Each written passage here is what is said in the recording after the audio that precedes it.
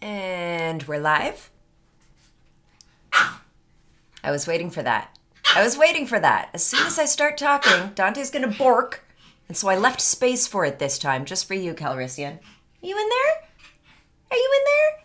Get in your bed. Get in your bed so everyone can see you. Get your little bum. Get your little bum. Go on.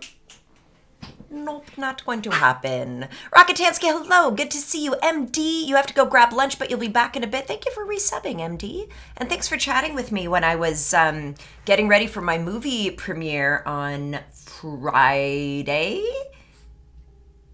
Yeah, it was Friday. What is time? I am so, so busy, but it's cool. Uh, yeah, I was in the. Um, if you don't know, if you're uh, if you're part of the Discord, there's a voice channel called GRWM. That stands for Get Ready with Me. That's if uh, if I'm doing my makeup for a big to do, or perhaps even a stream or something else. Uh, sometimes I will jump in there for company.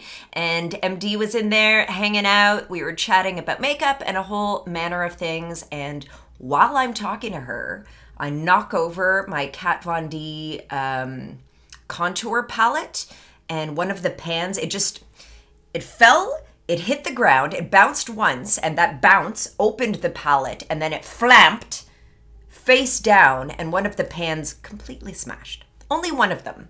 Only one of them, but the one that smashed, smashed completely. So that's a mess I still kind of have to clean up. I got all the makeup off the floor, which is great, but I still have to like dig it out of the pan and like the great thing about that palette uh, the great thing about most of kvd beauty's palettes is that they're magnetic and they pop out and you can buy just replacement um, pans.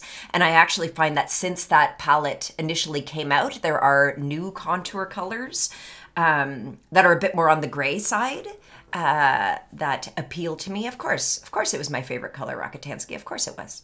That's how that shit works uh, but how's everyone doing? I missed you guys. It's been a long time. Uh, I think this is the first Sunday Sabbath in like two weeks. Uh, last weekend I was in Salem and uh, I I did a lot of shit. Uh, I've got some stuff to show and tell from that trip for sure.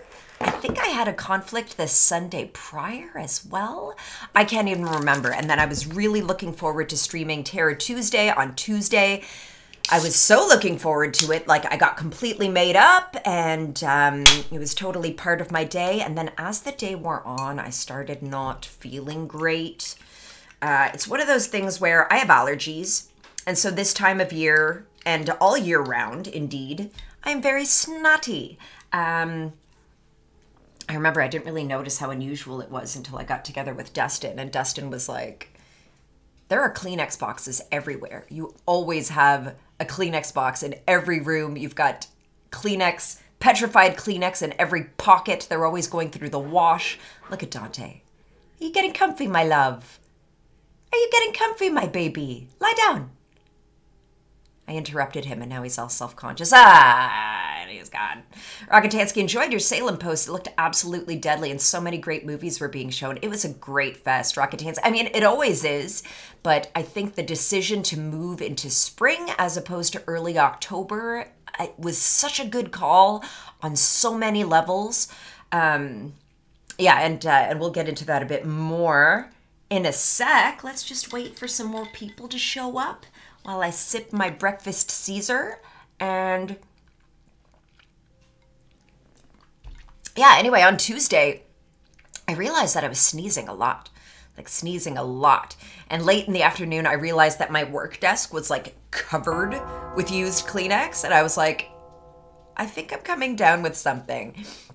And it was the kind of thing where, like, you feel a cold coming on, you know that all you need to do is rest. So I canceled my Tuesday night stream, I canceled my meeting on Wednesday, and I just rested on Wednesday. And I actually wound up sleeping off the entire afternoon, which is always a good indication that you needed the rest. Rytron, it's Halloween all year round in Salem.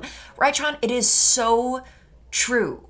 And I think I wasn't sure what to expect from Salem um, in April as opposed to October. Like, is it Halloween all year round? It really, really is. The Salem Witch Museum, uh, the haunted walks, all the attractions and features, the Wax Museum, all that shit is still spooky and Halloweeny as fuck in the spring, you can just do all those things without having to wait in line for a million years, without having to fight through crowds, mostly children.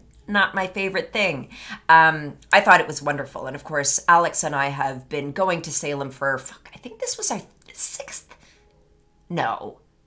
I think this is the sixth time the fest has happened.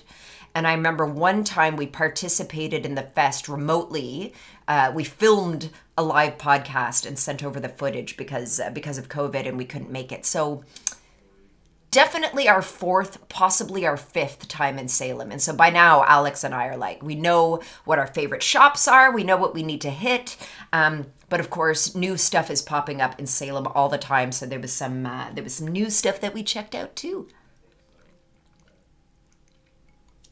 We also, for the first time, had kind of like a, a free, a completely free day in Salem where we didn't have any um, gigs associated with the fest, and that was the Friday that I was there. So we actually traveled out to Peabody, which is a nearby town, and they had, we found a plaza that had like an Ulta. Ulta Beauty is a destination for Canadians uh, traveling in the US because we don't have those here, and that was cool. I'll show you what I got from there in a minute. Uh, but also a Trader Joe's, which of course is a big treat. I brought Dustin back. Like that's that's the extent of stuff I brought back for Dustin. Was like all of the snack food and the spices and the junk food I was able to fit in my um, carry-on. Oh my goodness, what just happened here? What the fuck was that? Ghosts. Doi. Uh, and we got to, there was also an AMC theater in Peabody when we went, so we decided to check out Evil Dead Rise. And so, hilarious story.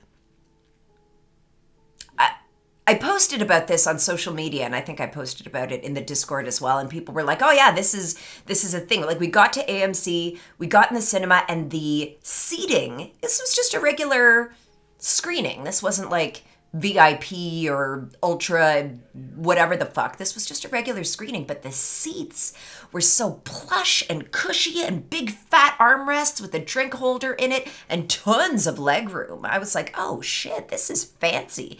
And so we sit down and we're getting cozy and I'm just kind of like settling in. And then I realize that there's a little control in my armrest and I start pushing it and the back starts reclining and i'm like what the fuck is this? Alex alex it reclines! And then as i recline all of a sudden a footrest comes up. We were like what the fuck? This is amazing! I don't know how common that is. I need to disable that uh, timed thing because i believe voting for the 20th annual rondo hatton Cla- classic horror awards are over. Hello lost frack! What's up? Uh, let me just do that real quick gang time based events, Rondo, disable, toggle disabled. Yeah, there we go. Sorry about that. Haha. anyway, I don't know if this is a common thing, but around these parts, movie theater seats are pretty basic unless you shell out for premium. And I'm pretty sure I have done the VIP uh, Cineplex experience a couple of times where there's like uh, service to your seats for food and drinks and a full menu and all this shit and super plush seats. But even those plush seats, I don't believe recline with a footrest. Wapsie kids, somebody mentioned somebody mentioned oh like there's a heater too. Uh, I, either I missed it or I didn't notice or I don't even know if I would have been keen on that. Um, sometimes when I get too warm, I get sleepy if I get too cozy. And uh, God knows there were some moments in that movie I could have slept through. Lost Frack, some of the theaters in MA can be really nifty. You know, I posted about it, Frack, and people were people in Ontario were like, "Oh yeah, we have we have cinemas like that." And I was like, "That was my first time. That was my first time." indulging in that and we got popcorn and i had just bought this um, cheesy powder seasoning from trader joe's so i was sprinkling that on my popcorn as i was eating 10 out of 10 experience. Uh, but the film, I would give maybe a 4 out of 10. Hello, MJ. Good to see you. Rockatansky, we have a theater that was renovated to put in the reclining chairs. Amazing. Unfortunately, because of the slanted floor, the backs of the chairs end up being straight up and down and kill your back. Oh no. We have a new theater and the seating is amazing. Rockatansky, the last time prior to Evil Dead Rise that I was in a movie theater, oh, was Beau is Afraid, and that was VIP. Okay, so the time before that, fuck, I forget what I was seeing oh, maybe it was a knock at the cabin. And I could not believe how little leg space there was. Like, I am four foot fucking nothing. And if my knees are touching the chair in front of me, that's fucked. And on top of that, the chairs like reclined a little bit and only if you like leaned back on them. And the person in front of me was totally leaning back and they were resting on my knees the entire time. Every time I moved my knees, I jostled him and he was kind of like, and I'm like, dude, I can't even cross my legs. That is fucked. If a person this small can't cross their legs and sit comfortably, uh, MJ, I was just talking about how I caught uh, Evil Dead Rise um, just outside of Salem when I was on my trip because we had a free day. And the AMC cinema was, look, I can't say that the cinema overall was amazing. The seats were amazing. The film quality and sound were fine, but the concession booth was like this is my first time ever experiencing this with a concession booth where you approached it and it was like barren. There was just one really sad display where they just kind of had like uh, they showed what candy was available and it was kind of dusty and shit and you approach and there's a monitor and you place your order and you pay without ever engaging in another human being and then you get a receipt with a number and then eventually somebody comes out of the back and they're like order number blah blah blah and uh, and what happened was I got two drinks and two small popcorns for me and Alex. And when he came out and he was like, "Order number blah blah blah," and he put it down, and then he walked away, and I was like, "Dude, I need a tray. I need a tray to be able to carry this." And to get his attention, he like disappeared into the back, and I was just kind of like, "Oh, I guess this is one way to cut cut uh, costs in the theaters is to not have to." have that much personnel working concession but uh, i didn't love it I, I i feel like it didn't actually save time for me um, because I needed to get his attention again to uh, to call him back and stuff. But whatever. Anyway, that was that was my AMC experience in the U.S. That I was like, whoa, cashierless checkouts. Uh, I, I'm I'm into it sometimes, Rytron, but I feel like a service where you're getting food and you know you might have I don't know additional requests. Like, I actually kind of feel like those. Oh shit! Where are my teeth? Where are they? Here they are.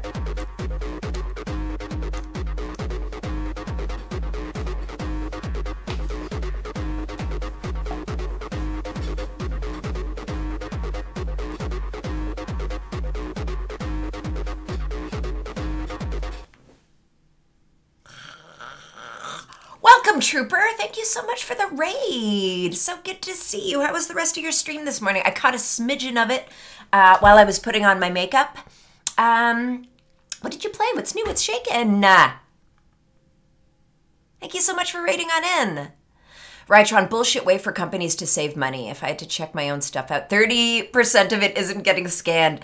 Rytron, I like when it comes to like Walmart and Dollarama, that's increasingly becoming a thing. And then, you know, I've seen people posting on social media that they get so angry that uh, if they ask to have their receipt checked, it's like, if you trust me to check out my shit, then check out my shit. Let me check out my shit. And if you don't, then you fucking do it. It's, uh, you know, there are definitely times where I'm running errands and I just want to be as efficient and in and out as possible. But at the same time, I do kind of lament the lack of human contact and uh, yeah like why why should we be on the honor system to uphold capitalism that is not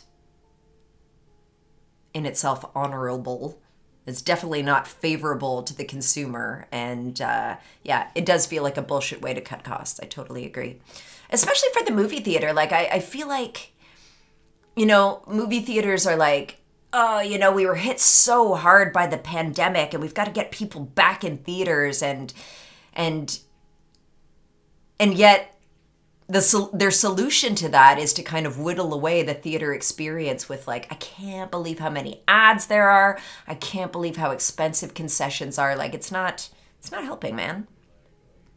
It's not helping. We all took a hit from COVID.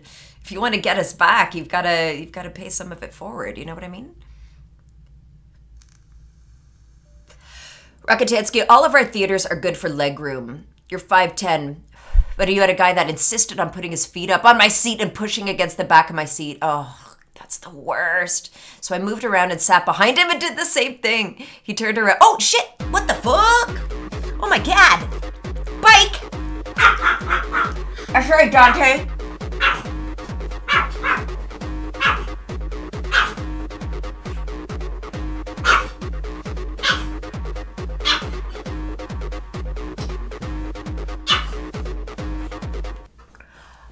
It's a fucking party in here. Welcome, Raiders. We just got a raid from Trooper, and now we've got the Bicycle of Death. The cult of the Death Raid is in the house. Welcome, welcome, welcome on in. Welcome to Sunday Sabbath. And if you guys are new, my name is Andrea. I am a horror writer, podcaster, content creator, all that shit. And this over here, freaking the fuck out, is Dante. He's like, I don't know why we're excited, but I'm really excited. Welcome, welcome on in. Sunday Sabbath is my weekly show. Well, ideally weekly. Um, where we chat all things horror, whatever's going on with me, which is usually something horror related. Right now, we were just talking about, uh, I just got back from Salem Horror Fest, and I was talking about how I got to see Evil Dead Rise in an American AMC cinema, and I could not believe how comfy and cozy the seats were. That's all I'm going to say.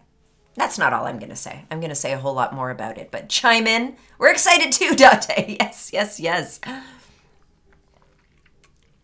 Trooper was playing I was a teenage exocolonist and really digging it. Fun, chill life sim with lots of possible paths and hints of darker goings on. I love that for you, Trooper. MJ, human contact is overrated though. MJ, you know what? I agree. There's a Shoppers Drug Mart right near me that has like a front door and a back door, and the back door has a self checkout thing. And sometimes, sometimes when I'm hungover and I'm just going to get some fucking juice and I have my headphones in and I'm all masked up and I just want to neat, neat, neat get out. Sometimes it's a thing. Sometimes it is a thing. Uh, Pumpkin Pan Pan, welcome, welcome, welcome on in. Uh, Mexican Batman, great username. Welcome in, guys. Resolute Blood, good to see you. Welcome, welcome. Dennis, hey, what's shaking? My favorite local theater is getting people back by doing some interesting programming. They're doing a year long cult movies series. This month they're also doing a Samus!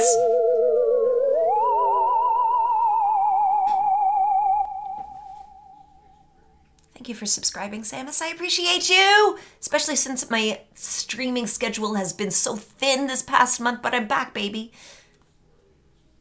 I'm back. I'm back. Is Resolute Blood, thank you for following. Bike, I got to see Evil Dead Rise Friday night. Was fortunate for a pre-screen code, so I didn't have to cough in a theater. Have you been sick, Bike? Sorry to hear that. Um, yeah, I actually got uh, there. Warner Brothers was hosting um, an advanced screening last Wednesday. No, not last Wednesday. The Wednesday before last, and they said I've got a bunch of guest list passes. Um, we just need to put bums in seats, so invite everyone you know. And of course, that was the day I was flying out to Salem. So I was just kind of like, who wants to come? BT dubs, I won't, excuse me, be there. Um, but the benefit, like, you know, I, I'm not super obsessed with seeing a film early so to speak. Like, I, I, don't have to be the first person to see a new horror film because spoilers or because of this and that. Like, sometimes the production schedule of the magazine or the podcast necessitates seeing things early to get stuff in on time. But for the most part, I'm okay to wait. It's fine. Uh, but when it comes to some of these early screenings, sometimes they have extras. And so for Evil Dead Rise, they had set up kind of a. Uh, uh,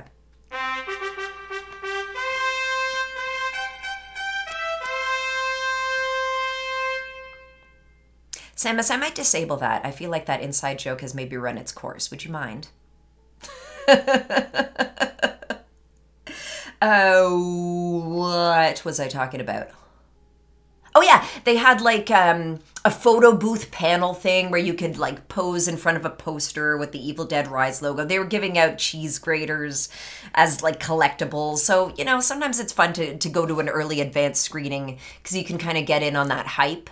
Um, you have no problem with that, Samus? I appreciate it.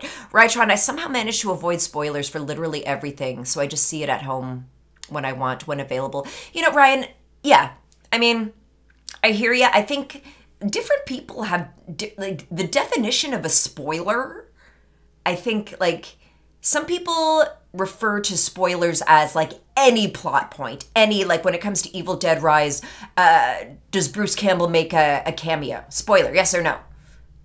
Um is the necronomicon in it? Spoiler yes or no? Uh, you know what i mean? Like some I, I feel like I feel like the definition of spoiler kind of varies from person to person. And if you want to go into a film blind, not even seeing the trailer, that's a way to do it. I know Alex Alex West is very against trailers because they give away too much. I have um, the memory of a goldfish thanks to a couple of head injuries uh, about 15 years ago. So when I see a trailer, I'm just like, okay, I get a sense of the film. And if there's any details in there, usually they just kind of fizzle away and I forget by the time I see the film. Um, but yeah, I didn't really, I didn't really get a sense that Evil Dead, like, how are you going to spoiler that? People are going to get possessed by Deadites, blood. Spoiler alert. Like sick, yes and no. I was pretty sick for one day and I have a residual cough for going on two weeks. Tested negative for many things contagious. That's a pain in the ass. Bike. I was having um I wasn't feeling well last week and like I was saying this at the top of the stream that like I just felt like if I got a couple of days rest, I could avoid getting a full blown sick, and I managed to, and I was able to. Um, but sometimes people's schedule doesn't uh, allow for rest when you need it. And uh, it's one of those things that made me feel very lucky that I'm more or less self employed and that my production schedule is mellow right now, and I was able to get the, the, the uh, rest I needed. Rytron, I'm a spoiler baby. Literally anything I don't know yet is a spoiler to me. Alex and I are kid. A spoiler baby. Okay. I feel like we should typify the sliding scale, uh, starting with goldfish brain, which is me, because A, I don't remember, and B, I don't care. Going to avoid absolutely everything. I'm not even going to look at Twitter until I see this new movie, regardless of whether or not it's a, it's a salient plot point, and, and that end of the spectrum will be spoiler babies. Samus can't really stick around. I'm about to go see Sisu. But I wanted to pop in, say hi, and get my resubscribe in. I appreciate you, Samus. Uh, I missed you terribly last week. I missed you all. Um, I missed my gaming PC. I didn't do any gaming for Wednesday to Sunday that I was in Salem, and I was like,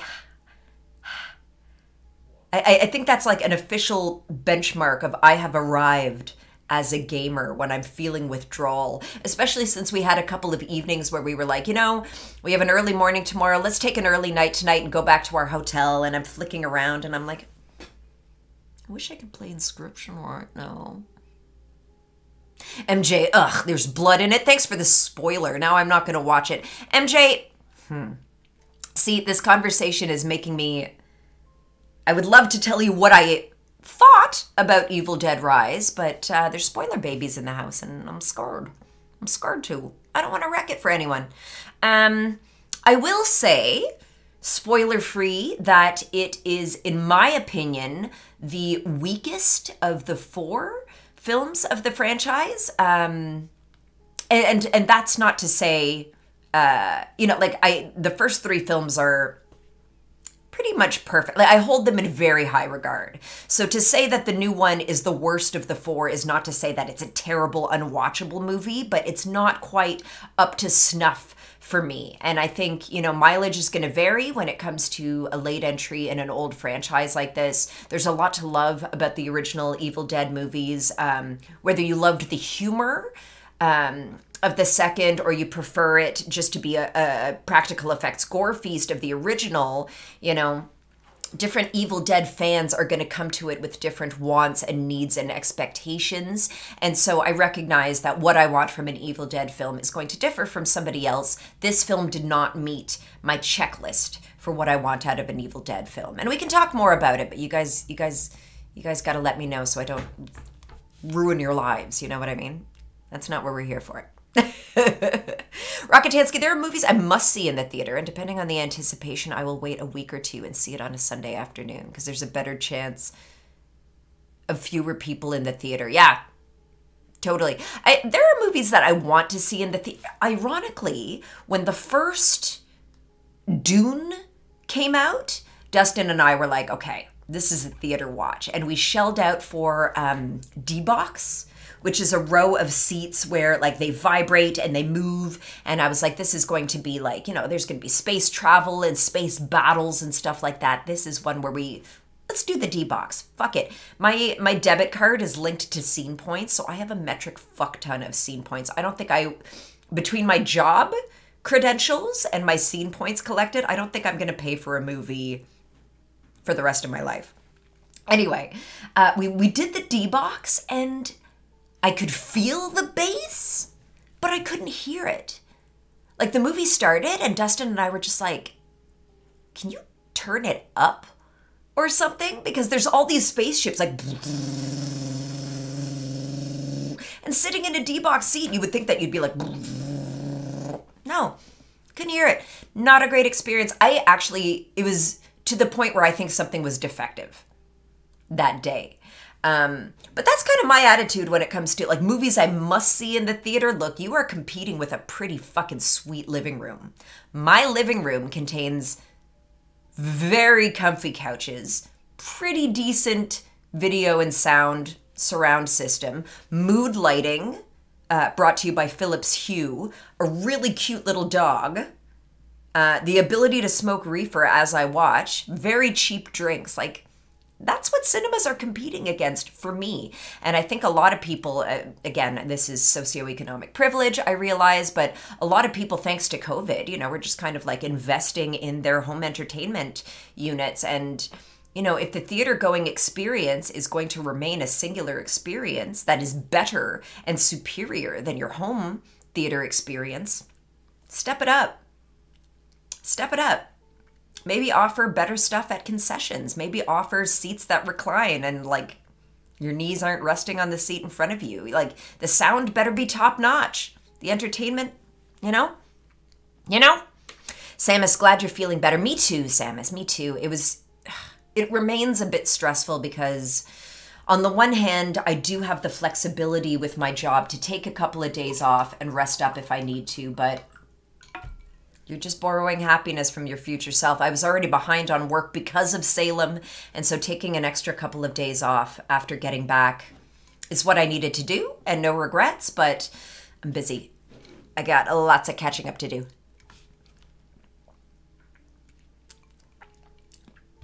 Trooper, I went into Renfield knowing nothing beyond Nicolas Cage was in it. I'm not necessarily morally opposed to spoilers, I just don't care enough to check. It ended up working out well as I was able to take the ride with no expectations. Trooper, sometimes that's the way to do it. And I feel like Renfield was something that I watched the trailer. We, we, ran a feature in Rue Morgue, so I watched the trailer to get the sense of it. And then when I was seeing another movie, I'm pretty sure it was Knock at the Cabin. There was there was a, a prolonged trailer for Renfield, and I was like, I feel like I know exactly what this is. You know what I mean? I kind of horror light crossed with action, uh, very steeped in this blue filter. There's going to be some gags, there's going to be some yucks. I've heard that some of the better gags were in the trailer. Um, but uh, I'm interested in it, but it's it's not the sort of movie I'm going to rush out to see in the theater. It's maybe one that I want to watch stoned in my living room.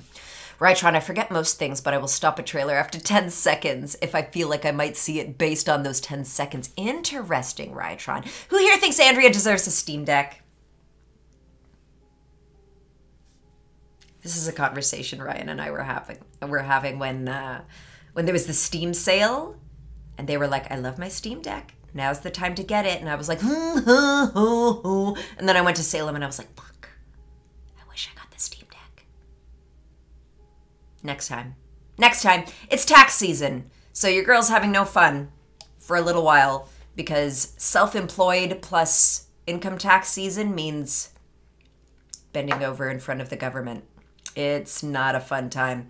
MJ, I do have movies like that, but only when I'm super excited for something or something like a Scream movie where not knowing who the killer is is part of the fun. Totally. MJ, that's a great example of I would consider a Scream movie where the killer is a reveal.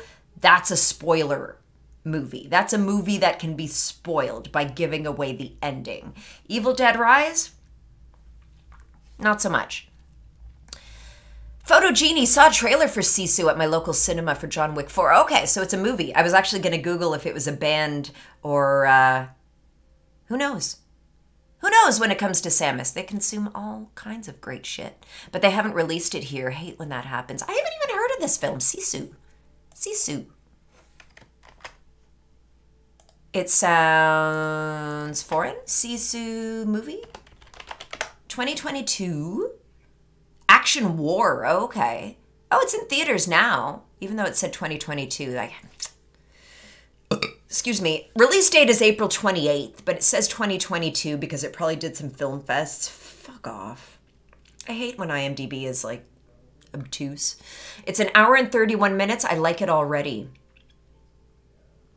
Nazi encounter. Interesting. Looks cool. Let us know how it is, Samus. Uh, I can always count on you to participate in the Discord and let us know. Five films, Samus. I will not stand for this army of darkness erasure. I wasn't erased. Five. One, two, three, four, five. Did I say four?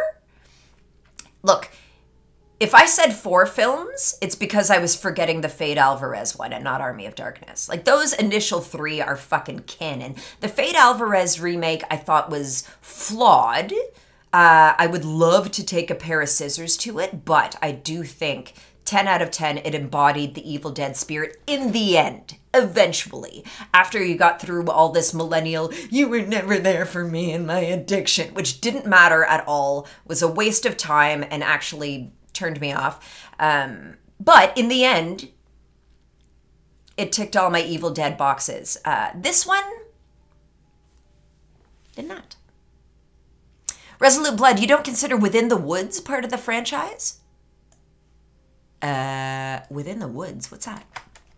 I guess uh, the answer to that is no, given that I don't know what you're talking about. Within the Woods, 1978 film. Within the Woods, directed. Oh, Sam Raimi, okay. Oh, it's a short film. Interesting. Holy fuck, snacks.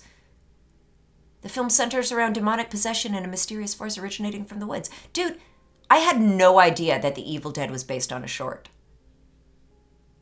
Should I just quit my job right now? Should I just like hang up my crown as horror queen of the north? That's fucked. Um, Resolute Blood, absolutely, I consider that part of the franchise. I also consider Ash versus Evil Dead part of the franchise. Um, but for the sake of common parlance, for me to say that, I thought it was the weakest film of the feature film franchise. How about that? Does that work? Rytron, my nightmare is a seat that moves around and sprays me with water. It didn't spray me with water, Rytron, and I don't think there was any olfactory anything. I have heard about like theater seats that release scent into the air or something. Mm-mm-mm. Not that, not with this makeup application. you kidding me? Spray me with water and fucking die trying. You know?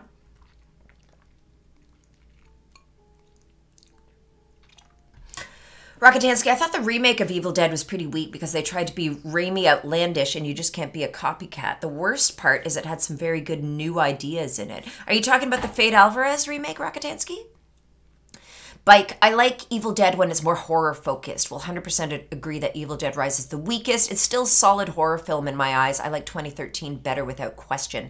Bicycle of Death, when I am watching a horror film and there is stuff that is most films have flaws and most films have flaws you know and, and whether they can be overlooked whether they take you out of the film whether they weaken the film is is kind of on a spectrum of what annoys you.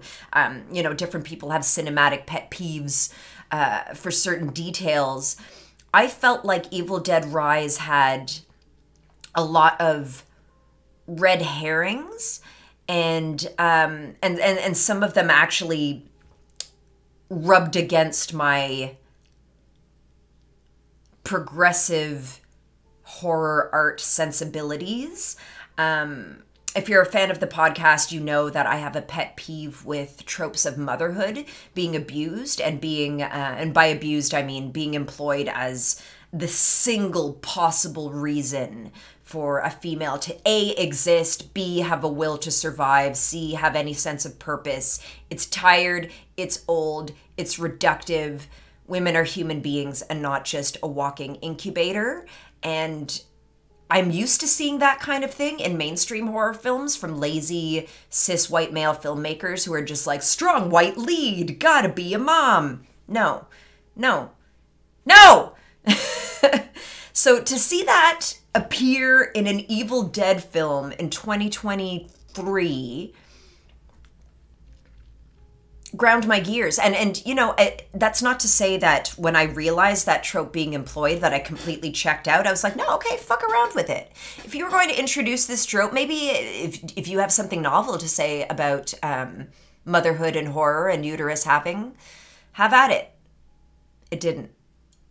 At all. And also, in the same line of laziness, and again, please stop me if I'm getting too spoiler territory, but the main character is a tattoo artist because because reasons because at some point there is a pretty weak bit of violence involving a tattoo machine that lasts maybe two seconds and is completely inconsequential.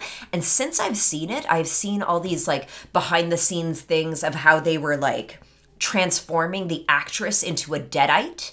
And, um, and you know they had to put veins and they had to put contacts in and they had to add gore and wounds and all this shit. And they had to add all of these fake tattoos. And i was like okay you included that as a character trait as if it was somehow significant it added significantly to the makeup time to prep this person every time you were on set. What the fuck was the point? Was it to frame her as just kind of a, a vaguely bad bitch in 2023 I don't know, maybe it's just because for me being heavily tattooed and that art form has so many um, political implications. Like, again, it's a career that's still a very male dominated space. Bodily autonomy is, is a touchy subject. And I feel like there's such interesting things you could do with having a protagonist who's a tattoo artist. It's, it, it's, it's, there's body horror, there's fertile ground for body horror to go in there, and they just didn't. It was just. Let's stop talking about it. I don't want to talk about it. In space, no one can hear you vibrate. Exactly, Trooper. Rytron, the loudest spaceship landing base system I've ever heard was at my house, right? Right? Trooper Redfield didn't pull many punches or ask too much of its audience. That's fine. Sometimes you just want a nice, light splatterfest. Exactly, Trooper. And a good trailer. In my view, a good trailer tells you what it is. You know what I mean? And like you can decide not if it's good or bad, but like what you're in the mood for at that moment. You want to get a sense of the film. You want to get an amuse bouche. Um, trailers can be spoilery, but they can also be too vague. Uh, sometimes for indie movies, it'll be like, flash scene of this, flash scene of that coming soon. And it's like, I understand when horror creatives don't want to give too much away, but it's a fine art to tease. The strip tease, you got to give just enough to keep it interested. And, you know, I, I almost feel like it's hip- hypocritical for me to say because God knows I get deeply angry when somebody's like, oh, you want to write a feature on my film in Rue Morgue magazine? Cool. I love Rue Morgue. I love this promo opportunity. And then when I'm asking questions, they're like, ah, I want, I, I don't want to reveal that. I don't want to talk about that. I want audiences to see for themselves. And it's like, well, what the fuck am I doing here? What the fuck am I doing here? Are you paying Rue Morgue for an ad? No, we're going to discuss the film. And trust me, as editor of this magazine, not to ask things that are going to constitute spoilers. I do my job, you do yours. Know what I mean? Bike Necromandrea deserves a Steam Deck maybe for Christmas this year or next time they're on sale. Maybe they're. That was a little bit of let me do it for you. Maybe for Christmas this year. Kermie. anyway, uh, uh, chat, chat, chat. I'm scanning chat. I want to talk to you all forever, but uh, I do have to keep things rolling today because I have a hard stop at 3 p.m. I have a um, uh, a podcast interview appearance um, for the Horror Wolf 666 podcast. Uh, I will definitely post in the in the Discord when that episode is up and available. But that's happening at 3 p.m. Eastern, so I do have a hard stop at that time. Like regarding motherhood, I get that the aspect of it annoyed the bejesus out of me, but it wasn't at all with the main character. Uh, it, well, with with several of the main characters, bike. It's um for women in film to be motivated toward violence, it's either a mother bear protecting her cubs type thing, or it's rape revenge. And those are all so reductive to women and sexuality. It's just that being in possession of a vagina slash uterus is the extent of the female experience. Um, it pisses me off and nothing coats a film in male gaze than a reductive treatment of um, the feminine experience. To me. To me. Rockatansky, the character being a tattoo artist may have been interesting if they were doing a tattoo of ritualistic symbols people like to get, and maybe they were using some compound for ink. They ended up. Ma- there are so many places it could have gone with it. I was like, you know, the Necronomicon is inked in human blood and bound in human flesh. And I was like, oh, maybe, maybe she's gonna like kind of make her own Necronomicon. Maybe she's gonna edit it or add to it or something like that. Maybe there's something cool. No. No, sir. No, sir, Bob. Rytron Steam sale calendar is public so you can plan ahead. Rytron, that is true. And also, I think you were the one who had suggested uh, keeping an eye out um, for secondhand uh, machines. I think uh, I think I could set an alert on like Facebook Marketplace for something like that. I can do that. Excuse me. Okay, okie dokie. Can I show you guys some stuff I got in Salem? Can I show you guys some stuff that I got? Salem, look, I'm going to tell you right now that shopping in Salem is, you would think that it's a tourist trap. You would think that you would go there and they'd be like, spell candles, only 19.95. No, guys, souvenirs, witchy souvenirs in Salem are very reasonable. Yes, there is a witch occult shop on every corner, but the stuff there is pretty legit and affordable and fun. I have never once felt like I was being gouged or overcharged. Um, for a spooky experience in Salem. And if you've ever been to places like Niagara Falls, if you've ever been to Disneyland, you know how easy it is for them to just get that knife in and twist it. And you want your Mickey Mouse ears? out? you're going to pay through the nose just to show that you were there. Um, Salem isn't like that. And uh, and so there are a couple of stores that we know and love, and we make a point to revisit every time. Uh, one of those stores is called Hex, and Hex is a witchy occult store that um, they actually offer tarot readings in it. And half of the store is uh, candles and spell supplies, and the other half is like an occult bookstore. Um, Alex and I always get a couple of these little souvenir witchy candles there. Uh, this one is like they have a variety of colors, and the colors each correspond to a spell whether you not believe whether or not you believe in this kind of thing is um, it's a really fun little souvenir. So this white one is for psychic wisdom. Uh, I brought back as a gift. This black one is for banish negativity spell candle. They were only a couple of bucks each, and what a fun little souvenir. This one is cosmic justice. Can you see? Can you please focus on the label for me, please? Thank you. Trooper, another benefit of being in Salem outside of October, did you get the sense that the prices were reasonable year round? Absolutely. Absolutely. They don't hike up prices to capitalize on the tourism. The only downside of going in October are the crowds. And by the crowds, I mean getting into the Hex store in Salem on an October Saturday, you're going to wait in line and that's going to come cut into your shopping time and that fucking sucks. So we went to Hex. I picked up a few of these. Another store that we always go to when we go to Salem, top destination, is a store called Haus Witch, and it's spelled H A U S Witch. It's a houseware store. They have spells and kitschy stuff like this. They're a little more expensive, but um, they're really cool, unique stuff. And every time we've been there, it's been new. Uh, they're always turning over uh, new products. And so I got really cute souvenirs from there. They're seeds. These are seed packets that are designed to look like tarot cards. So this one is um, Sow the Magic, the Sunflower. Look how beautiful. Look how beautiful this packet is. And on the back is everything you need to know uh, for planting the seeds. Uh, as you can see, they were seven bucks USD. Is that a lot to pay for a pack of seeds? I mean, yeah, it's more than a pack of seeds costs at the grocery store, but what a fucking cute souvenir. I got the sunflower. I got this one I think I need to keep for myself. Sow the Magic Tomato Black Beauty. These are black motherfucking tomatoes, guys. Um, I'm Italian. Your girl's gonna grow tomatoes in her garden. You know it.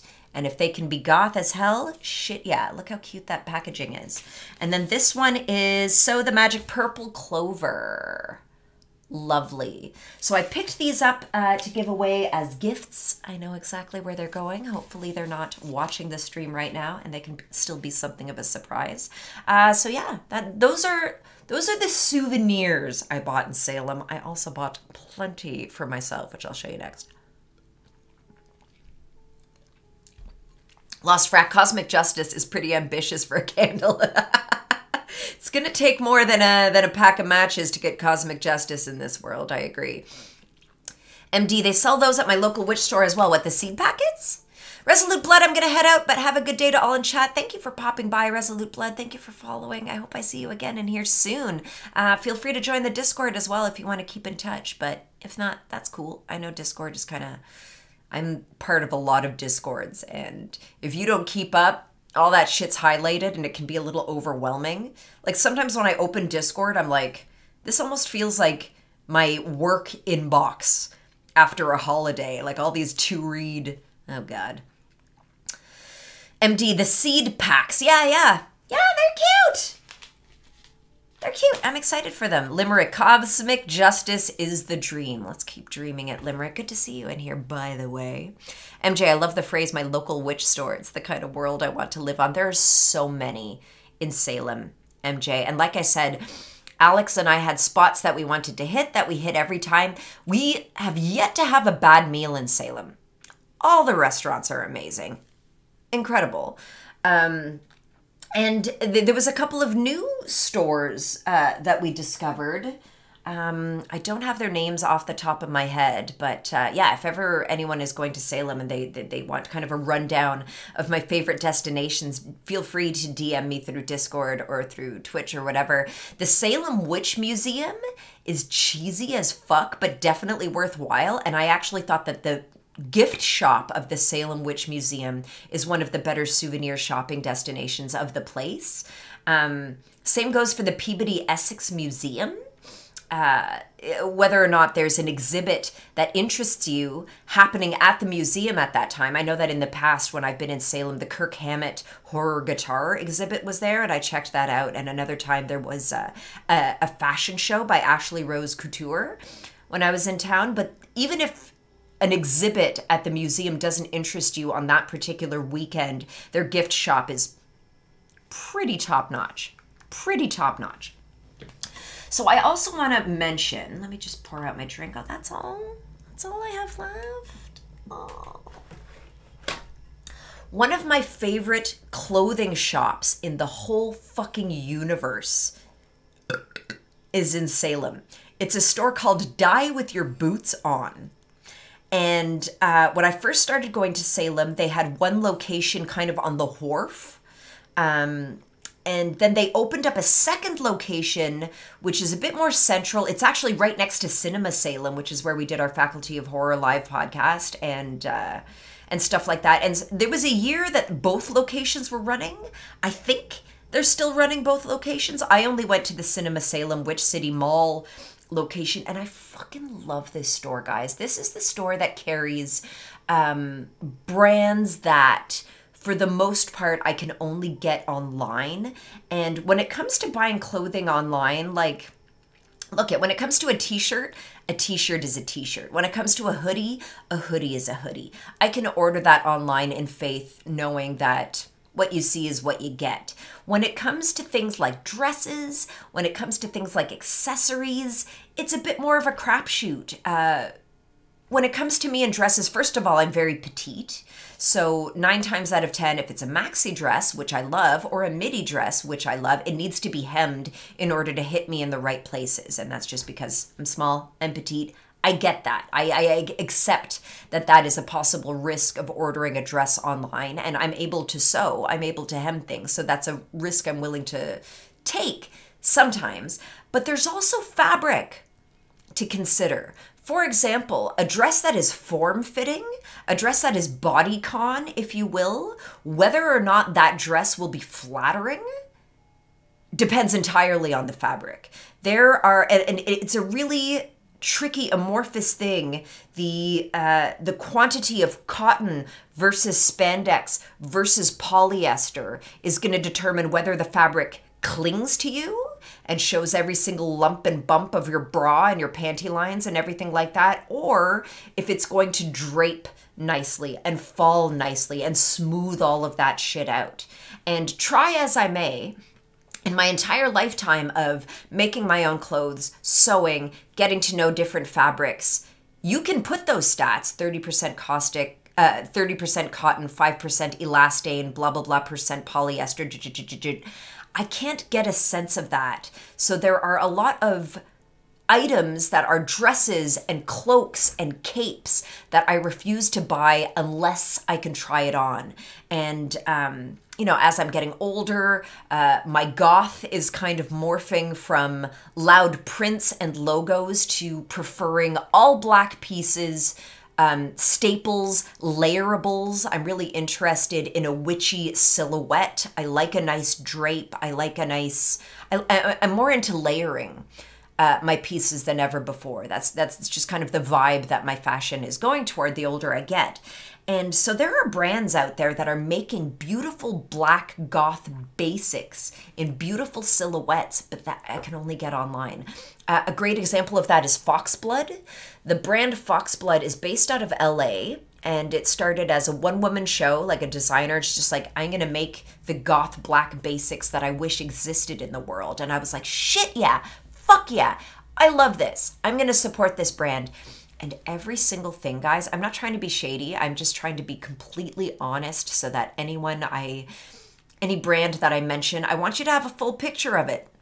Foxblood sells incredible black basics. Everything is made in the USA, which is great. I have had to alter every single item I've bought for them. Uh, I've bought dresses from them that have a, smushed down my tits, and B, gone, like, I've had to hem, like, this much off the hem. And I'm like, you order a larger size to accommodate curves, but then you have to contend with, look, again, I don't want to be shady. I don't want to be critical, but the fact of the matter is, I've been burned too many times by Foxblood to just buy anything off the website without touching it, handling it, trying it on. Um, I think this is all the more so because, uh, you know, a lot of these brands, a lot of these US centric brands offer free shipping in the US, free returns in the US. They don't offer that. I have to contend with the currency exchange, I have to contend with um, customs. So sending stuff back isn't an option. Basically, I, I, just have to be like, I might have to hem that. Am I willing to hem that? I am willing to take the risk. When it comes to Foxblood, I've been burned too many times. But at Die With Your Boots On, they have Foxblood there, as well as all these other brands that I discovered for the first time that were amazing. Limerick Lace, I always wonder why they don't use more varied size models. Do you mean Foxblood in particular, Limerick? Because they usually have. Okay, look, I, I'm going to get shady again. They usually have two models a plus size model and then the designer, whose name is Lindsay. And I am not intending to shame anyone for having breast implants. It's totally fine. It's I it's great. No tea, no shade. But the fact of the matter is, whether or not I can wear a dress without a bra, and there are some dresses that need um, to not have a bra or a strapless bra or stickers or some kind of weird shit. I feel like when Lindsay models Foxblood items, there's no bra straps, but her tits look perfect. And I'm like, I, am always looking at it and being like, I can't pull that off because I need to wear a bra. You know what I mean? Like th- these are little details that even if the sizes are inclusive, everybody's bodies are different. Everybody's needs are different in terms of support, in terms of coverage, in terms of. I also like, you know, even just, even this shirt, my bra is totally popping up out of here because this is kind of low cut down here. I need to wear a bra, guys. Limerick, sorry, I meant any place that makes clothes seems to pick one or two size models and fit to them, assuming that works for everyone. Like the place I work does a bog swim launch every year. After two years in a row, the swim torsos are so short, despite many requests for some variation. Limerick, it's it's a thing. And look, I actually believe that like short of having a photo shoot of 10 or 20 models like you're not going to get you're not going to be satisfied in terms of everybody's different shapes and sizes and I get that and I understand that. But what grinds my gears is, for example, I had to stop shopping. I mean, there's many reasons I stopped shopping at Dolls Kill, but uh, Widow is a clothing brand that is exclusive to Dolls Kill, and so I did a little bit of shopping from them. They'll show one teeny tiny model wearing the clothing, and in terms of size guidelines, it'll be like model is five foot seven and is wearing a size small. As if that is in any way useful. Any clothing line that is unable to just be like, lay the garment flat and provide the measurements. It's not hard. It's not a costly photo shoot. It is information that I need. I find that information to be the single most crucial nugget of information that'll be the difference between whether or not I buy something. Kelly, I'm so sorry, sorry, sorry, sorry. Kelariti Rasedin Kel Barber. Can I call you Kelly? Hi. Welcome, welcome on in. I am so sorry I am butchering your username like that. As somebody with a tricky last name, I know how annoying that can be, but I apologize. Kelly? Can I call you Kelly? Thank you so much for following. Call you Callie. Callie, love it. Welcome, welcome on in. I was just talking about my clothing haul from Die With Your Boots On. Let's leave the negativity behind. A lot of clothing companies don't know how to sell their clothing properly by not depicting the essential information you need to know to understand whether or not you can pull off this garment. I need to go in and try it on. I've been burned too many times. So, I would like to show you a couple of garments that I picked up from Die With Your Boots On um, because they excited me. So this is a dress, and this dress is a great example of I enjoy jersey material. I enjoy t-shirt, you know, t-shirts are a jersey cotton knit. But jersey cotton knit can depending on spandex, elastane, polyester, the inclusion of other things, have a lot of different qualities. Sometimes it drapes nicely, sometimes it's stiff. Like I'm sure you know, if even if all you have in your closet is black t-shirts, some of them are soft, some of them are clingy, some of them are stiffer, some of them are blacker. These are all different like variations. So this dress is um it's a, an A-line dress, which is to say it, it, cuts above the knee and the skirt goes a little bit wide and um, it, it's got these slits in the sides a little bit. So this is the kind of dress that would work well over leggings, over nylons. It can be a tunic, it can be a dress, whatever. And then the sleeves are extra long and there are thumb holes. You guys, I love a long sleeved garment with thumb holes. Fuck me up with that shit. Um, and then it, the the shoulders are cut out. Uh, so if you're wearing this, it's kind of like a high neck tank top, shoulders cut out, long sleeves, thumb holes, and um, just an A-line skirt. Super flattering, drapes on me beautifully. The shoulders are a nice little peekaboo of, uh, of my tattoos. And I also enjoy the high neckline. I feel like you're not really getting a sense of it here, but you see how the, here's the tag. So the, the scoop in the back is actually lower than in the front, which means that this kind of cuts up here and it's very witchy. It's witchy in almost like a 60s kind of boho style way. And um, it looks really great with a long draping necklace. Um, I bought this the first day that we were at Salem and I actually wound up wearing it for our live show with my hat and with my boots because I just thought it was so cute. Hello, NoCal Mike. Welcome, welcome, welcome. They're all black. Everything I bought is black. Everything I bought is black. Kelly, I can't, Callie, I can't wear it now. I would love to do a fashion show for you guys, but I just don't have time. Um, but yeah, this was um, this was an interesting find. The brand is Trude Apparel. Never heard of it, but this is an excellent example of a basic black dress that is so wearable, really flexible in terms of uh, dressing it up, dressing it down, and I'm really happy I bought it. This was a huge find. I am just gonna drop it on the floor, I think. This is another dress I bought. Look at this, guys. This dress is, um, again, high necked, and it's got this mesh spiderweb velvet bodice when you're wearing it with kind of a sweetheart neckline and you can't really tell on the hanger but um but the like it's sleeveless obviously but it does have a bit of a cap to the sleeve. It does kind of come far down the shoulder and cuts diagonally which is so so flattering for really petite small bird boned people like me. And uh, it comes with this little spider brooch which is installed in the neckline. Now this is also a jersey material. It's a little bit lighter than that other dress I have, and it's bodycon. So I was saying that the other one is A-line. This one is going to hug your curves, but I also found it uh, drapes very well, very forgiving. Again, no lumps and bumps if you're wearing uh, nylons or whatever. And yeah, this one definitely has some drama associated with it. I actually wore it for the first time to the premiere of Coven uh, last Friday, and I was hoping to have a picture of myself in it for you by now, but the girl who took the pictures hasn't sent them yet. But this was, again, this was something that was really easy to layer. You can dress it up, you can dress it down. Um, I'm sure I will be wearing this on uh, on a stream or at a horror event coming up soon, and you'll get to see it.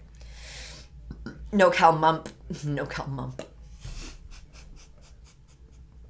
No Cal Mike Lumps and Bumps is a great 90s R&B song. My lumps, my lumps, my bumps. Okay. This is the last dress I have to show you, and this, there's a story accommodating it. It's so good. Okay, listen. I get to the store. Plain toast, no jam. Good morning, greetings, welcome. It's not morning at all. It's 2 p.m. where I am. How are you? I'm just going over, uh, this is my kind of fashion haul from Salem Horror Fest. It's not really what this stream is about, but I had to show off my loot. Guys, I bought a fucking gown. I bought a gown. I don't need a fancy gown. I have lots of black maxi dresses, but this one, I saw it hanging there and look at it. Look at it. It's got this bodice um, and, and just looking at it, I could tell it had everything I wanted in a dress. A, adjustable straps. Fuck me up with adjustable straps. I could see that these straps were adjustable and thick, which means your girl can wear a bra. And as I said, that's important to me. That's that's that's a game changer. I don't like taping myself into clothing, especially like if there's going to be straps, I want them to be adjustable to help it fit me. Um, this fabric is again kind of a jersey. This it's very soft and very very drapey. Um, but I could tell just by feeling it that it was going to be very, very flattering. And as you can see, it's got these um, this battiness. Um, what's a little bit harder to see is that it kind of gathers on this side, and then there's a slit. So it fits tightly to my waist, and then and then there's just this big draping floor length ness with a big slit in the leg. It's very titsy. This thing runs very low. So it's scandalous, but it's also like Morticia Addams Elvira fucking glamazon. Like Alex Alex wasn't very interested in the store, but she knew I was excited, so she entertained me. And it was totally one of those things where that you see on reality TV where I went in the dressing room, I tried it on. She was sitting out there dicking around on her phone and I like opened the door like this and she was like You're getting that. I don't care how much it costs. You are fucking getting that. And look, it made me feel like a million bucks. The brand Weaselwear never heard of them, but I'm going to be looking them up now. Um, it's the Queen of the Night maxi dress. Like, come on, fuck me up, right? Uh, so I bought it. It was over a hundred bucks, but I loved it so much. I was like, I need to have this. Who knows when I'll have an opportunity? And that was the first day we were in Salem. And so Alex says to me, she says, Weaselwear, right, Plain Toast? Uh, Alex says to me, she's like, you should wear it tonight. You're doing the opening night Q and A with Candyman.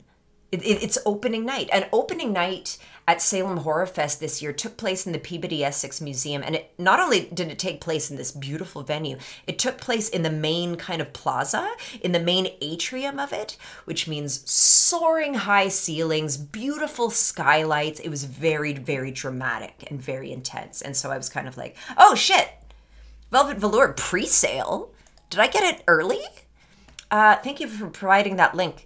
Okay, so that's it, Velvet. And if you guys look at the link, you can see that there's kind of two ways to wear it. You can wear the batty flappy things flipped up, which is like the first picture, or you can wear them flipped down, which is like the third picture down, which is the way I prefer personally.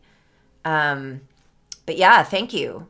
Queen of the Night maxi dress reviews. I should I should leave a review because this dress is fucking. Oh, there's no v- reviews. I should definitely include significant stretch. You will feel Greek goddess meets mistress of the dark in this truly unique design. Totally, totally. Agreed on every count.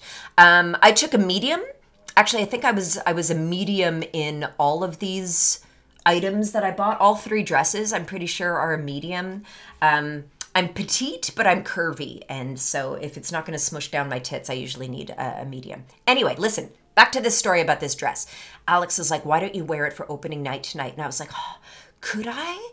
I was kind of stuck. I was in a bit of a pickle because the only boots I packed were my docs, my platform docs. And I was like, my platform docs look cute with a lot of dresses, a lot of maxi dresses and short dresses, but this gown, is it going to work with my gown? I don't know. But I, I was already mentally like, I think I need to wear it tonight. I think I need to wear it to open night. So we go to Cinema Salem to do a sound check for the Faculty of Horror Live podcast, which was the next day. And Kay, the head mistress of Salem Horror Fest, the founder, the goddess, the queen, the icon. If you guys know anything about Salem Horror Fest, you know who I'm talking about. Hello, Mad Eyes Jojo. Welcome on in. Um, we see Kay at Cinema Salem. And we're like, How are you? How's it going? Are you so stressed out? It's opening night. How are you feeling? Blah, blah, blah. And Kay is like, Oh, you know, it's a lot. I'm, I'm getting through it. I'm, I'm, I'm trying to set this and that up. And we're chatting. And then Kay's like, I got the most stunning dress for tonight, though. It's this long dress and it's got a big slit up the side and it's got these little bat wing things that fold over. And Alex and I just looked at each other and we were like, Did you get it at Dies Die with Your Boots On next door? And Kate was like, Yes. And I was like, I just fucking bought that dress. Like 10 minutes ago, I bought that dress and I was totally planning to wear it tonight for opening night. And she was like, Oh my God, that's so funny. And we laughed about it and we laughed about it because what a crazy coincidence, right? Like, what are the odds? And so then we did our soundtrack check and we did everything. And then I was kind of on my way out and she was like, So the dress? And I was like, All ears, baby. You wear it tonight opening night of Salem Horror Fest is your night. Like, you wear it. I'll wear what I originally planned to wear. Because, you know, if we hadn't had that conversation and if we had have shown up in the same dress, it would have been fine. We would have laughed it off. But because we did know, uh, it, it was kind of one of those things where it's like, it's your night. I defer to your authority for the gown on this particular night. Plus, I, I really think the boots wouldn't have done it justice. If you've seen any photos of Kay um, from opening night, she fucking rocked the shit out of that dress, probably better than I ever could have. I feel like every time I saw her standing up there, she was like, she was popping out the hip, she was popping the shoulder, she was popping the leg through the slit, and I was like, work fucking work. I will have other opportunities to be a goth glam goddess. All yours tonight. Anyway, so that was the funny that was the funny story about uh, about opening night and my dress. Um,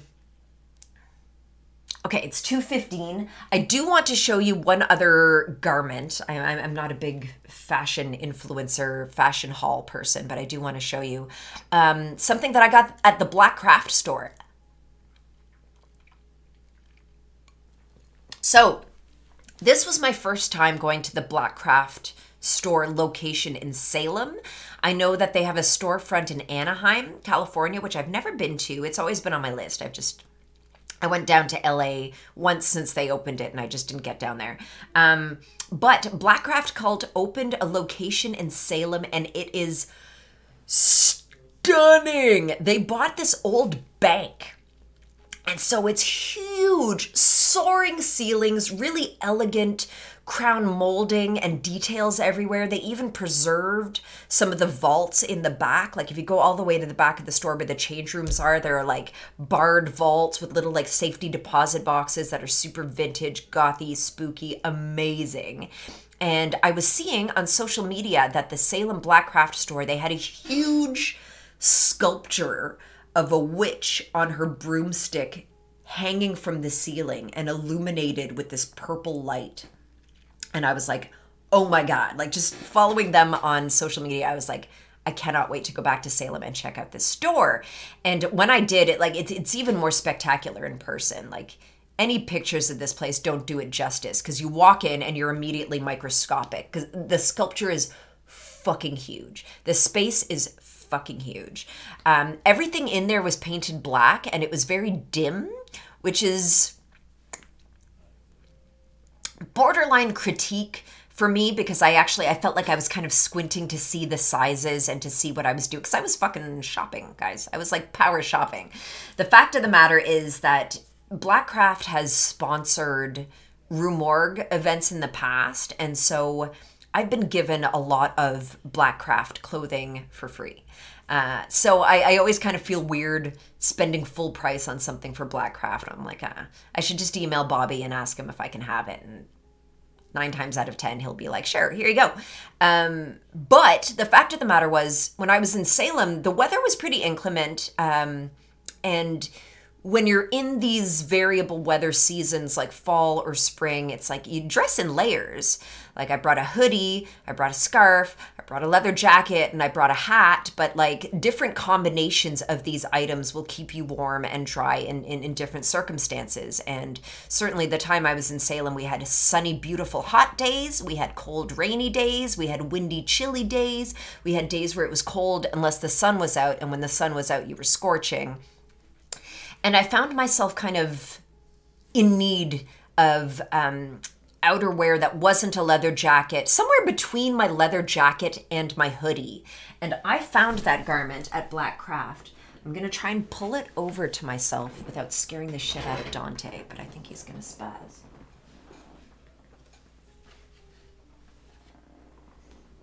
Oh, I did it. I did it. It's okay.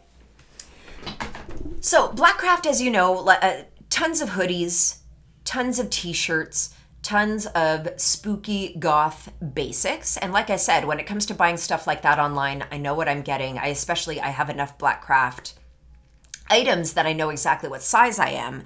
Uh, even when it comes to unisex sizing, which I'm always kind of like, nothing's ever quite unisex. You know what I mean? An extra small male and an extra.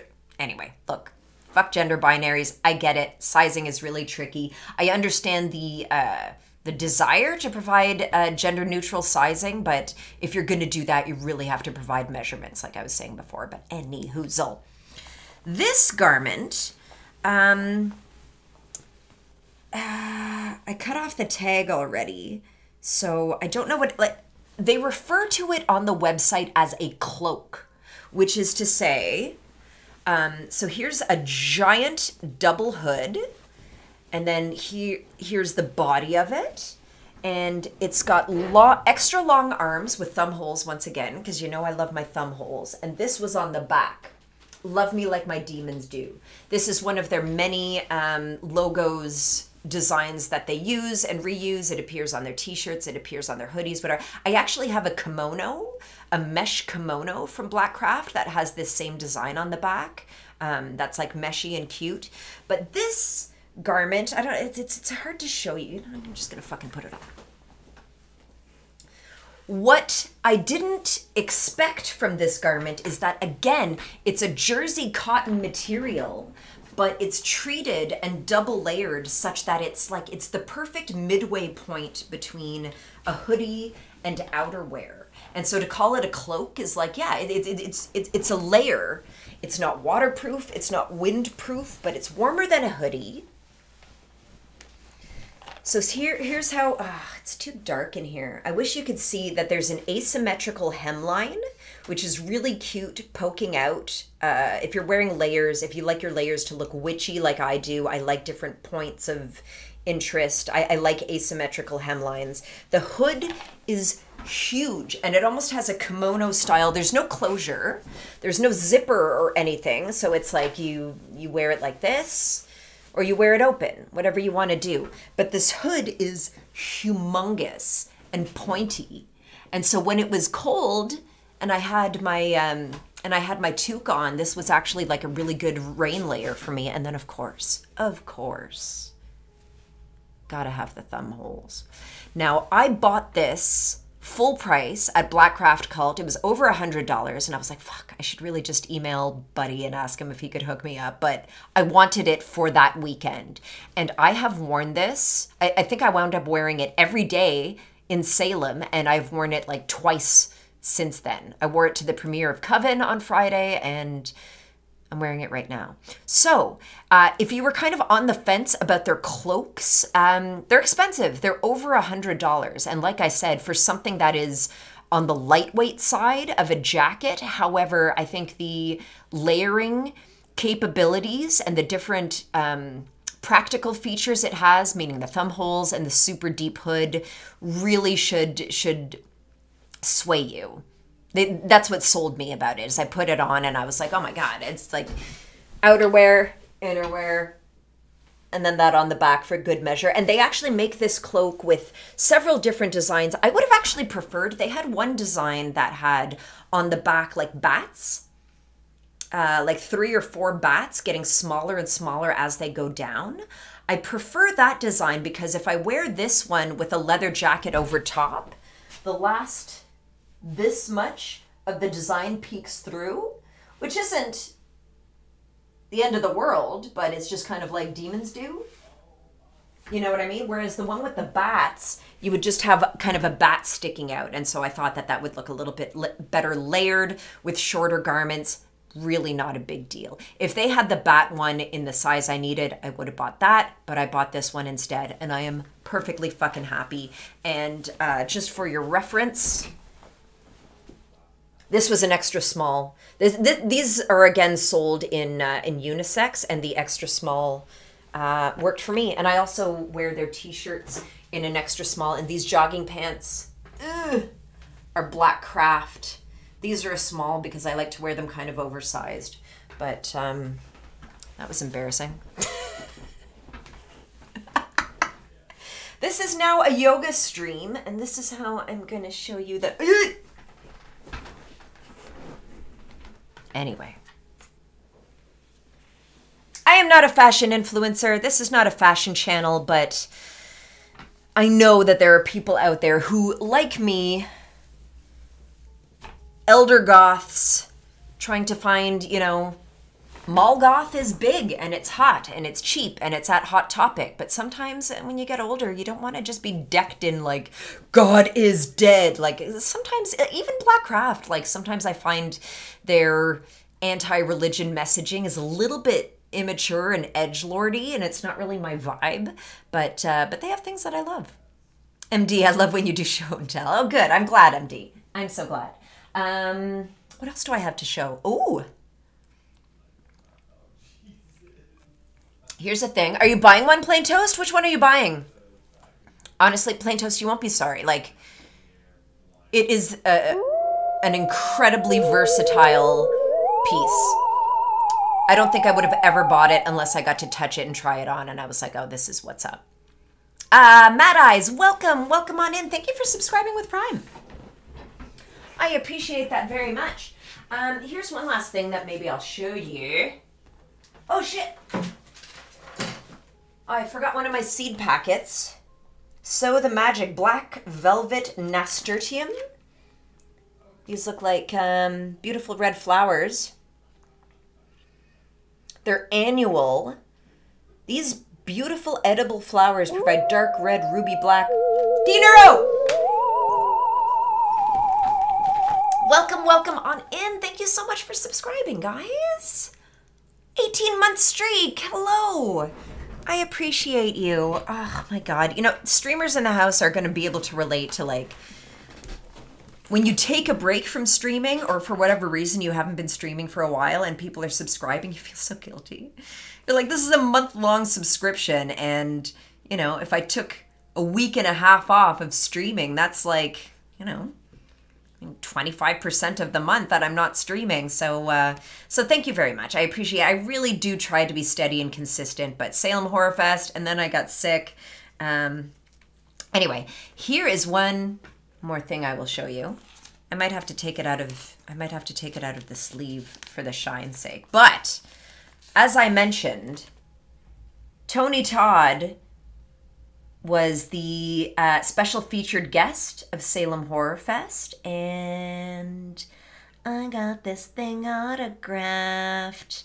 Um, if you had a VIP pass to Salem Horror Fest, you got a meet and greet with Tony Todd and an autograph um, in advance of our opening night festivities show thing. And he had so many things and I, I know this like i think anyone who any horror fan who knows tony todd knows that like yes he is a horror icon but he's he's been in so much shit. He has been in so much shit. And so the display of different 8 by 10s you could have signed by him were anything from candyman to final destination to star trek to platoon to fuck like everything. Everything he's ever done, there was an 8 by 10 and it was so, so hard to choose. Uh, I chose this one, and he wrote to Andrea Sweets to the Sweet, Tony Todd. And so here's where all of that went down. I met, here's how it went down, I should say. I met Tony Todd maybe six or seven years ago when I was the admin person at Rue Morgue. I worked the front desk and uh, we had a convention at Bingeman's Scream Park, which is like outside of Kitchener, I guess. It's like the middle of nowhere. And they have a scream park with some like really good haunted houses and stuff. And, and, and this one year they decided that they had budget to bring out a guest. And let's make it more like a convention. Let's have a guest. So they had Tony Todd out there. And uh, so I'm hanging out with Tony Todd. I'm helping him at his booth. I, I was helping kind of like wrangling the uh, the autograph situation. And then he's like, I need a break. I think I want to go through one of the houses. Would you like to come with me? And I'm like, Yes, I'll go through a haunted house with you, Tony Todd. What the fuck? And Rochelle, uh, who is now um, who is now working the position that I was working at the time. She is the administrative assistant currently at Rue She was an intern back then, and she came out with us, and I was like, Rochelle, you want to go through a haunted house with Tony Todd? She's like, hell to the fuck yeah. And so we go through this haunted house, and it was the kind of haunted house where, you know, they they put a lot of effort into these very spooky and grotesque rooms, but they also hired actors and quite skilled actors and acrobats and contortionists to frighten you in these like you know they'll walk up to you on a crab walk or whatever they'll hang from the ceiling or they'll like do something fucked up that's unsettling. And tony todd is if you don't know he's at least six foot five um, and he has this sonorous he has so much presence you not only see him coming a mile away, you feel him coming a mile away. And so we were going through, and he's a huge, like, he's a thespian in the purest sense of the word, in that, you know, he acts in movies, but he's also a big fan of theater. He's a theater actor, and theater actors know how to project their presence. They know how to project their voice. They know how to hit their beats and, like, use their entire body to convey what it is they want to convey. And so going through the haunted house with him, he was talking to all the actors and all the like. I, remember there was one room that was kind of an exorcist themed thing where the actor was in a nightgown and she was all bloody and fucked up and she was like. Tony Todd fucking jumps on the bed, lies down next to her. How's it going? What's shaking? Blah, blah, blah, blah, blah. And I'm like, do they know? Do they know? Like, horror fans know. And I think any anyone who has seen like a Hollywood blockbuster in the 90s might be like, hey, is that the guy from Platoon? Is that the guy from The Rock? Is that the guy from, you know? But do they know that they're on a bed with Candyman right now? Do they know? Anyway, that was my first experience with Tony Todd.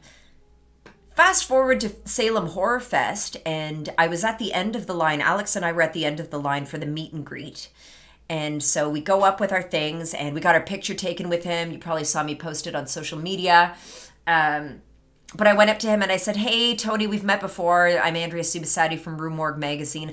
I'm going to be conducting your, um, your opening night Q&A uh, later on this evening. And he goes, Oh, okay, that's cool. Rue Morgue, that's cool. Your name's Andrea. Okay, I'll sign this to Andrea. Your name's Alex. I'll sign this. Let's take a photo. And we took a photo. And then I was like, Okay, I guess I'll see you. Uh, I'll, I'll see you soon for the Q&A. And he goes, you better have good questions. He looked me flat in the face and just, you better have good questions. And I was like, and look, conventions where you are the guest of honor are a lot. Um, the Q&A that we were doing was already like probably a half an hour overtime, meaning he spent more time than he agreed to meeting with fans, chatting with fans, having his picture taken, um, smiling. Smiling when you don't feel like smiling is fucking exercise, and anyone who disagrees has never had to do it for a long enough time. I even feel like when I'm at a horror event and people are like, "Oh, Andrea, like I love the magazine, I love the podcast, I want it," like they're giving you compliments. You would, it, it shouldn't be, it shouldn't feel like work to accept compliments, but I swear to God, just smiling for a prolonged amount. I know how exhausting it is to be on and to be on and so I totally got it and I was like, fuck, is he in a bad mood? Has he had a long day of being on and now we're going to do this Q&A and he's grumpy? Shit, shit, fuck. And of course, already interviewing Tony Todd is deeply intimidating because he has such a tremendous body of work. I had at least 30 questions. Um, we were going to be chatting one-on-one for 45 minutes at this beautiful um, opening night gala in this gorgeous Peabody Essex Museum, you know? So, like, no pressure. If he's in a bad mood, that's fucking great. So, as it turns out, because the Q&A ran late, everything ran late. Um, the entire opening night ceremony started well over an hour late, I think. And it started with uh, Kay, um, the the founder and president and programmer, going out there and giving an address and giving a beautiful address that like I cried, I cried. Salem Horror Fest is, I go to a lot of horror festivals. Salem Horror Fest is very singular in its emphasis on the political, you know, whereas a lot of horror festivals are just kind of like, we want to sell tickets, we want everyone to come. Salem Horror Fest is like, I don't want Republicans to come. This is a queer friendly space, this is a pro trans space, and stay away. We are going to vocally criticize Republicans. We are going to vocally criticize Trump. And if that makes you not want to come to our fe- festival, that actually makes the festival safer for us. I love this too, Limerick. It's when they launched the festival, Alex and I were like, "This festival is something special." And when they were like, "We would want we want Faculty of Horror to be a part of it," we were like, "Yes, yes." We have been invited to many a horror fest. I am not going to go I'm not going to travel across the country to party with dude bros, to gawk at suicide girls. Like, conventions and film festivals have a vibe. And this vibe was so closely aligned to what Faculty of Horror and Rue Morgue are about that we just signed up immediately and we've gone back every year since. And and they have not lessened that emphasis on the political in the six years that they've been running. And so Kay get, got up there and Kay said, you know, this festival was inspired by the 2016 election. We're still mad. We still need horror more than ever. We need to articulate and uh, uh, um, externalize our rage we are feeling rage. We are feeling legitimate rage and fear and and and all of this informs how a lot of uh, groups approach horror. And so seeing her up there and talking about it and just like i felt tremendously flattered to be part of opening night um, and, and just to be part of the fest. And i got you know my lip got a little bit my lip got a little bit jibbly, and uh, and of course Kay is looking stunning in the gown that I was gonna wear. And every time she came down, I fixed her hair, and I was like, she's so beautiful. You look so beautiful. It's great. So after Kay did her address, um, the keynote speaker was Kier-La Janisse. Um, who was there on behalf of, you know, obviously her book, uh, House of Psychotic Women, which is a tremendously influential feminist um, memoir uh, nonfiction horror book. I highly recommend it. Um, I first read it years ago when it came out, but she put out a revised edition, an updated edition in the past year. And if you haven't checked that out, you should. So she did an incredible intro on folk horror, which was kind of the theme of the first week of programming at Salem Horror Fest. And then um, the Romero Foundation. Uh, was also a sponsor of Salem Horror Fest. And so Suzanne Romero, uh, George A. Romero's widow, was there on behalf of the Romero Foundation Fellowship, and um, and she did a she did a speech, and then it was me and Tony, and this is like you know people are fidgeting in their seats. They've been waiting for this forever, and like look, not to say Kier-La's address or Suzanne's speech were like this was the main event the main of the event was a q&a with tony todd. If somebody bought premium tickets to opening night it was to see tony todd. And so i'm kind of like okay here we go you know? And like i said tony who was a little bit crispy at the q&a um, you know while we were backstage kind of in the green room area before the q&a he was just kind of on his phone dicking around and i'm pacing and i'm pacing and i'm nervous. And then we're standing backstage getting just about to just about to go on stage and you can hear kay being like and for our next ga- guest our guest of honor um, has been in a multitude of genre entries blah blah blah blah blah. Tony gets in my ear and in his fucking candyman tony todd voice is like all right, girl, you ready to go? We're gonna drop it. You ready to drop that mic like it's hot? We're gonna drop it like it's hot. And he's just in my ear, pumping me up and stoking me like this. And I was like, oh shit, oh shit, let's go, let's go.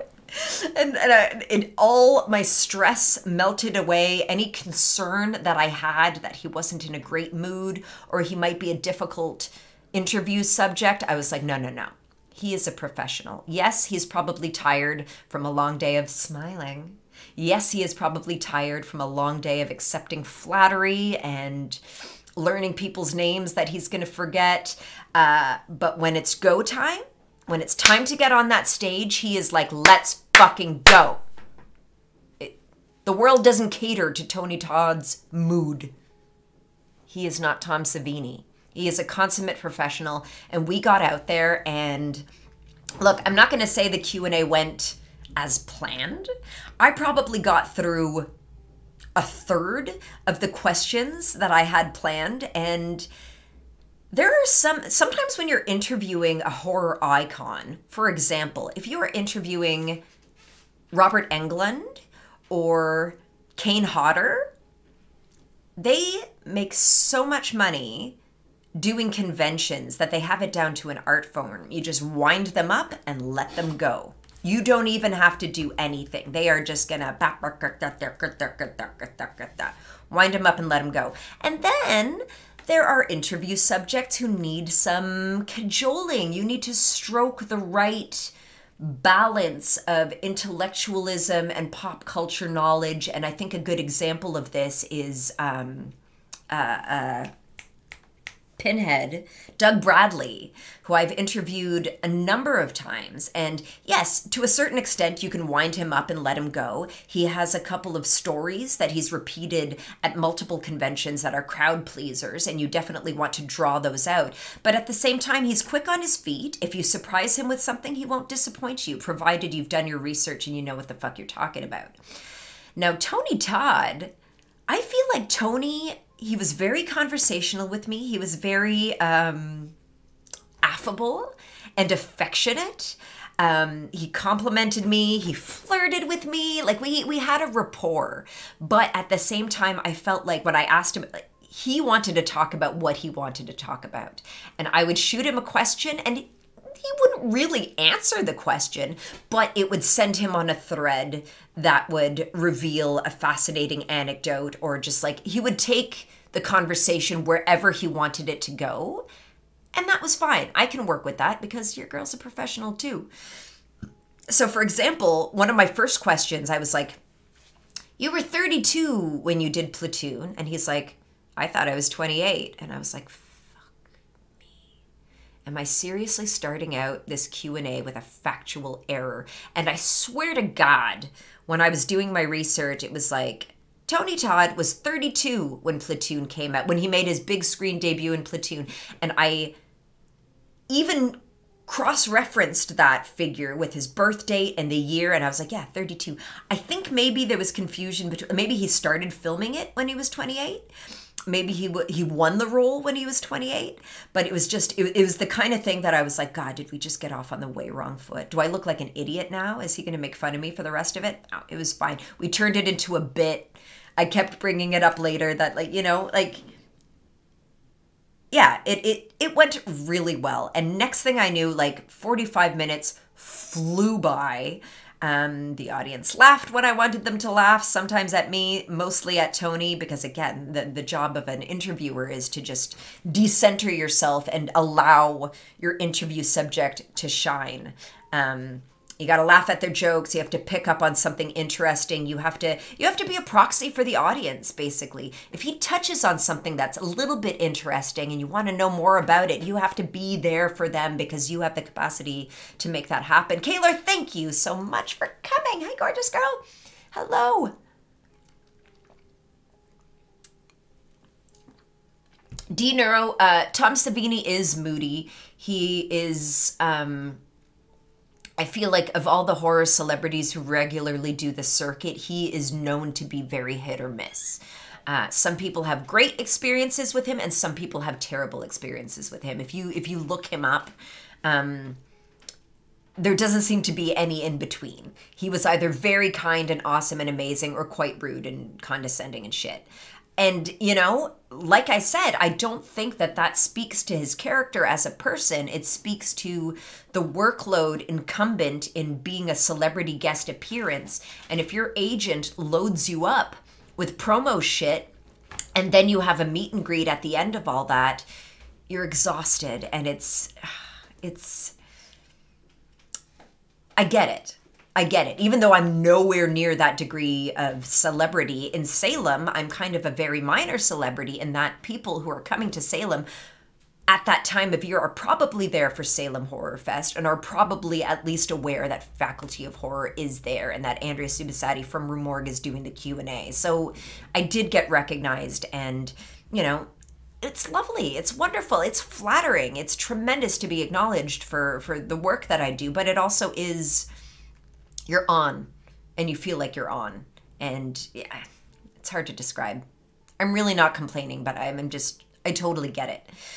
Anyway, someone did shoot the entirety of that Q&A with Tony Todd. I don't know where the footage will end up. Um, or if it'll be free to access or if it's I, I don't know um, as soon as i find out i will let you know but it was definitely a career highlight for me uh, yeah and then afterward so during the Q&A, like right after the Q&A, they were screening Candyman in that atrium. And um, so people who were waiting like I said, the opening ceremony started kind of late, so there were a lot of people who were who were sitting in these hard plastic chairs for a good two hours before it even got to the movie.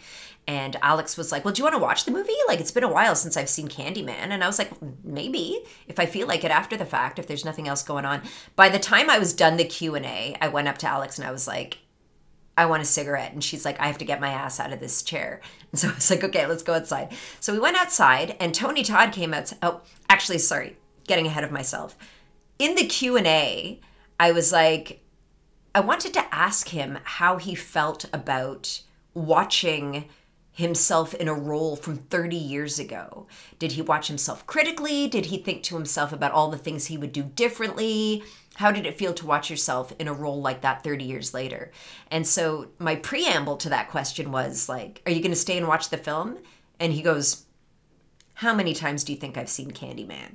And I'm like, I don't know, a hundred, a thousand. He goes once. I saw it once, opening night premiere when it came out, and I've never seen it again. I don't like to rewatch myself. I don't like to rewatch my shit. I, I as much affection as I have for the role and as much pride uh, as I have for my performance, I don't watch myself. And I was like, okay, well, I guess that answers that. Anyway, so Alex and I go out for a smoke after the Q&A and Tony's out there and he's like, I just really want a craft cocktail right now. And so one of the festival organizers comes up and is like, oh, we're all going to a bar called, I think it's called All Souls, A L L S O U L S. I kept wanting to call it All Saints, like that uh, British pop group from the 90s. It's All Souls. And uh, they were like, they have great craft cocktails there. So Alex and I decide to go, and it's us and a bunch of the Salem Horror Fest volunteers who were off duty. Uh, they had a corner of it, and um, and it was busy. So we were tight packed in there. We were kind of like, and it was a booth, so like there had to be some shim shimmying uh, for more people to sit down. And so Alex and I sit and we order a drink and we're chatting with the other volunteers. And then all of a sudden, somebody is like, Tony Todd! And you can see the top of his head. He's so fucking tall. You can see him walking toward the door. And let me tell you, we fucking panicked. Everybody was like, Where's he gonna sit? What's he gonna order? Who's got his order? He's tall, he's got long legs, he needs to sit. He's been standing all day. We just fucking, I think it was actually Alex who blew the whistle and was like, Tony Todd is here! And everybody just like, somehow I was being thrust into the fray with like, oh, he should sit with you, and then we should make room for his assistant, and I don't wanna sit near him because I'm nervous. And I, like, this whole clusterfuck in the five seconds leading up between seeing him in the window and him getting into the door. And it was one of those things where he walks in the door and we're all like, hi, nothing. We're casual, we're chill, we're cool. We weren't just panicking because you're walking in here. Lips wet with venom. Hello, hello, welcome. Um.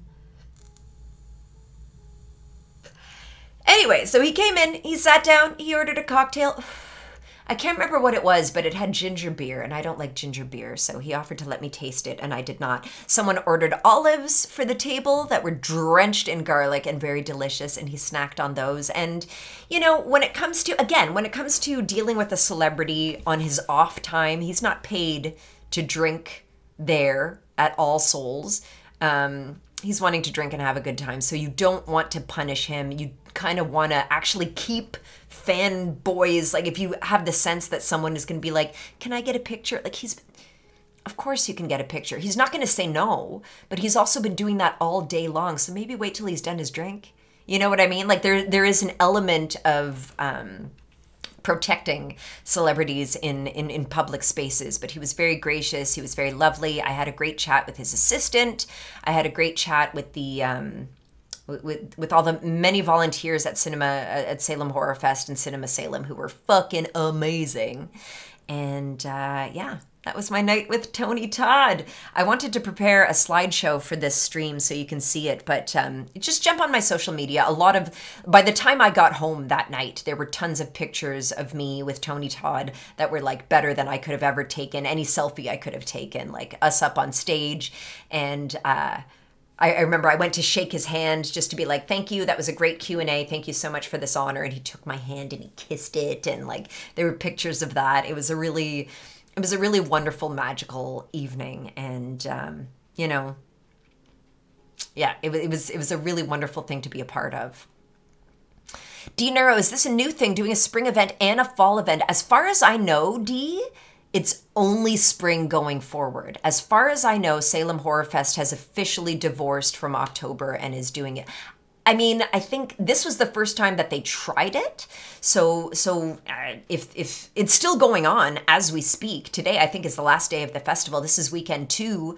Um, uh, with its own set of guests. I think they're doing a Fright Night special feature. The first opening weekend was mostly folk horror and Candyman centered. Uh, um, assuming it went as well as it appeared to go for the spring season, I think it's going to be spring going forward.